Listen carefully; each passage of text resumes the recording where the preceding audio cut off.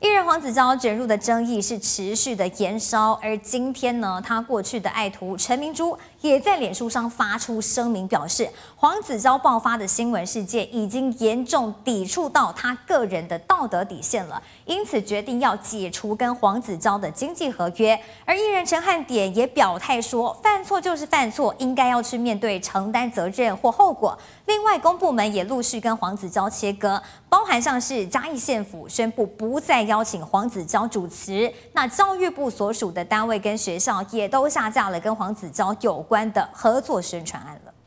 看看别的入围名单都很强嘛，嗯，那明珠只是啊，算是第一次啊。黄子佼、陈明珠往昔的师徒好交情，如今再也不复返。陈明珠十号发出声明，写下感谢黄子佼过去在工作上的帮助，但近期黄子佼卷入的事件已严重抵触他的道德底线，因此宣布终止和黄子佼的经济合约，正式与恩师切割。除了陈明珠，艺人们也都纷纷表态。我们做艺人其实就是一个榜样啦。那你如果真的自己做不好，自己要去负很多责任。是让他好好就跟家人、还有受害者、还有他所遭遇到问的问题，让他们自己去面对，承担这些责任跟后果。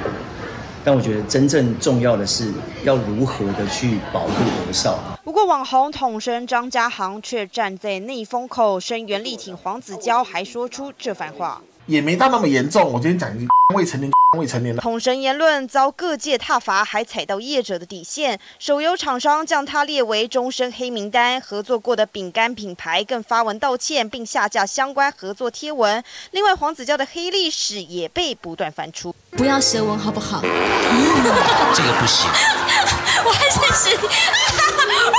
节目上黄子佼和蔡灿德的互动，当时的节目效果，如今也引发网友热议。而黄子佼二零一三年举办的人鱼摄影作品展，有民众透露，当时受到黄子佼邀约拍照，被要求做奇怪动作，让网友看了直呼细思极恐。另外，公部门也陆续和黄子佼划清界限，嘉义县府开出第一枪，宣布不再邀请黄子佼主持；新竹县府也跟进，还有教育部所属单位和学校也都下架和黄。子交有关的合作案，算我喽。